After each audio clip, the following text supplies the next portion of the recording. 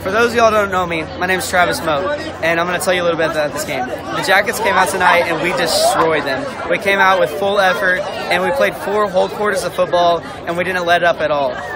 Hey, Travis, tell me about that almost touchdown pass, right? Eight yards into the end zone. Tell me a little bit about that.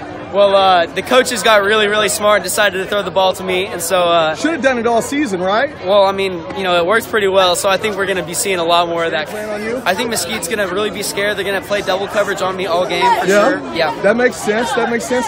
So, just the, the final thing to all of Jacket Nation do they bow down and kiss your ring? Well, I'm a, I'm a humble king, so no, no, they don't. Congratulations on the win. Thank you. Thank you.